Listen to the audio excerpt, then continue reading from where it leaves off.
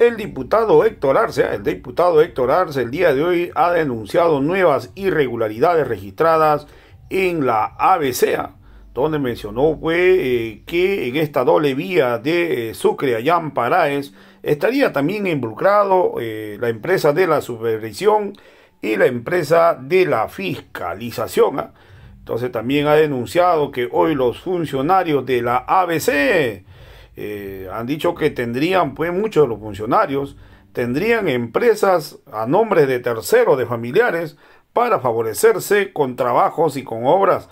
También hoy el diputado Héctor Arce ha enunciado que internamente en, este sector del ABC estarían pues regularizando los documentos de los diversos procesos. ¿ah? Están tratando de solucionar para buscar de solucionar pues los documentos y las irregularidades que existen internamente.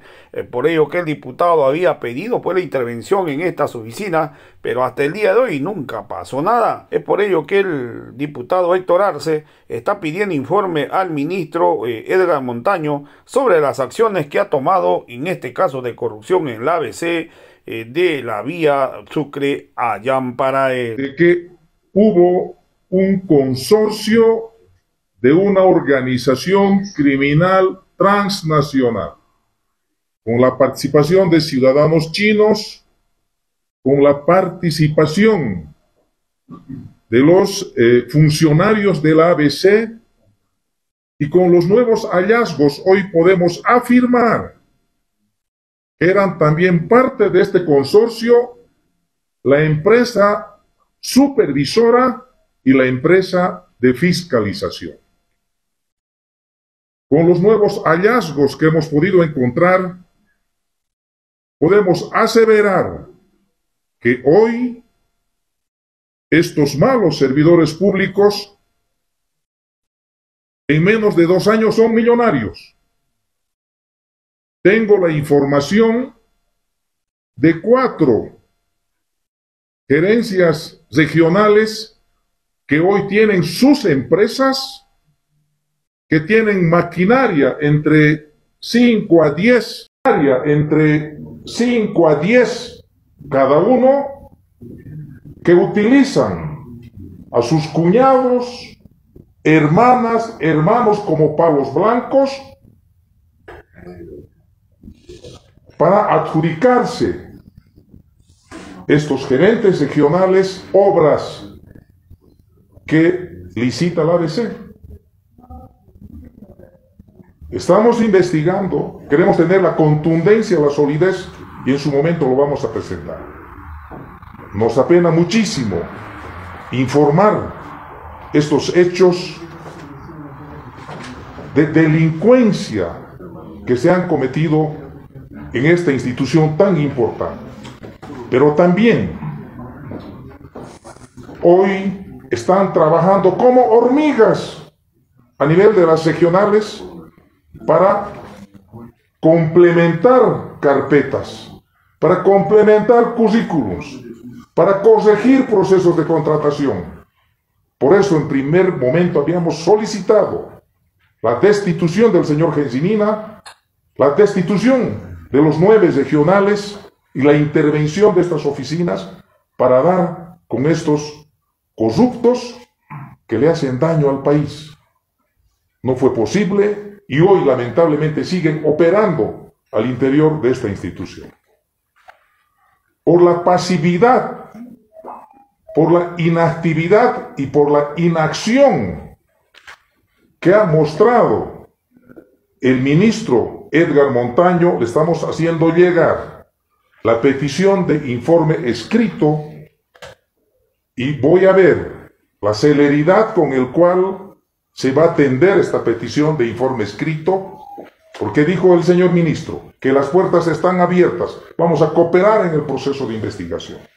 Estamos pidiendo una serie de información, pero sobre todo le estamos preguntando al ministro qué acciones ha realizado en el marco de la ley Marcelo Quiroga Santa Cruz, cuál fue las funciones que han desempeñado los funcionarios de la, de la, del ministerio,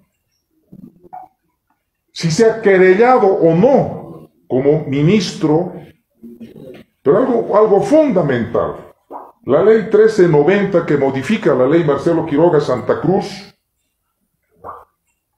sanciona hoy a las personas jurídicas. La sanción no solo es ahora a la persona individual, también a la persona jurídica. En este caso, la empresa china Harbor Check, la, la asociación, ha movido dinero de las cuentas de la empresa que es la persona jurídica.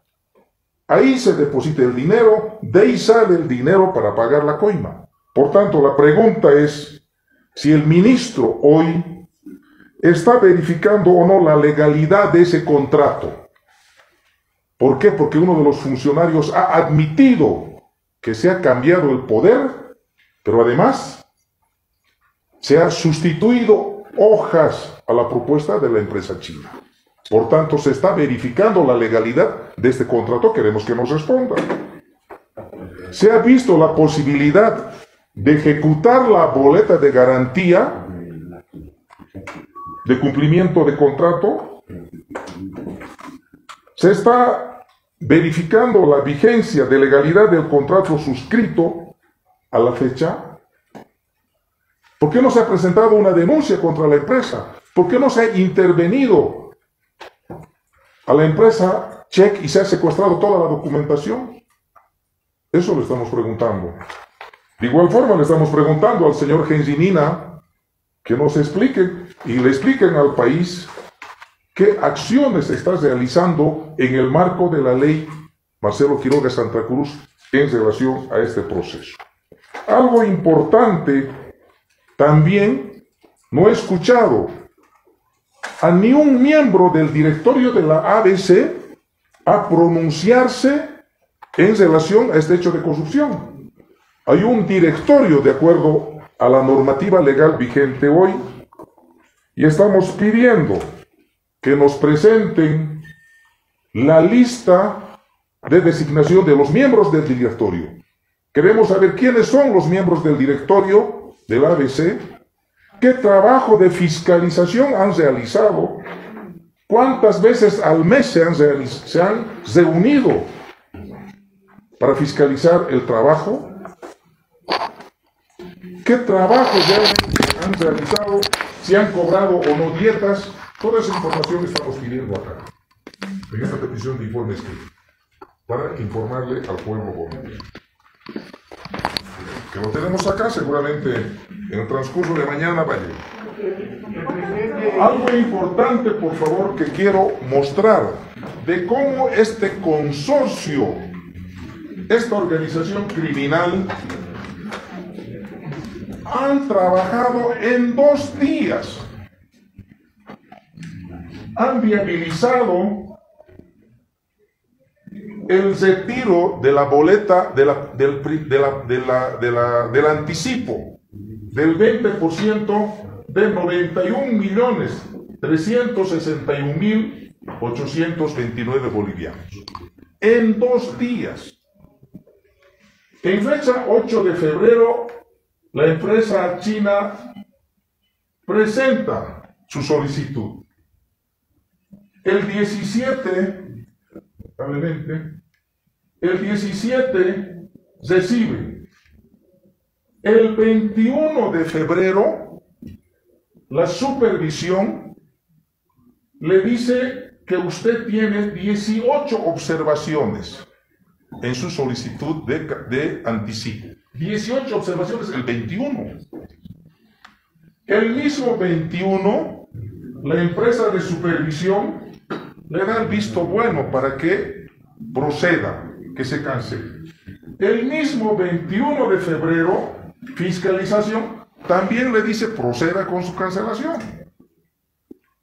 El 22, el ingeniero Javier López Quespi, que es parte del denunciado, que es miembro de la comisión de calificación, pero además es responsable de este tramo, le dice también proceda con su cancelación. El 22 de febrero, Hernán Palacios, que es gerente regional de Chuquisaca, le dice cancelen. El mismo 22 se cancela el anticipo a horas 15 y 45. Es decir, en dos días, desde la solicitud, revisión del fiscal, del supervisor, la parte administrativa, imagínense, esto no es posible técnicamente, porque uno tiene que revisar toda la documentación, todas las carpetas, porque estás pagando más de 91 millones de bolivianos, estás pagando 10 pesos para ir a comprarse un chicle. Pero ¿qué es lo llamativo? Acá tenemos un formulario del CIGEP. ¿Saben qué es lo llamativo? Este formulario ya lo elaboraron el 16 de febrero. Estaba preelaborado, ya estaba todo, todo charlado. Por eso hoy sostengo de que esta organización criminal también es parte de la supervisión y también es parte de la fiscalización.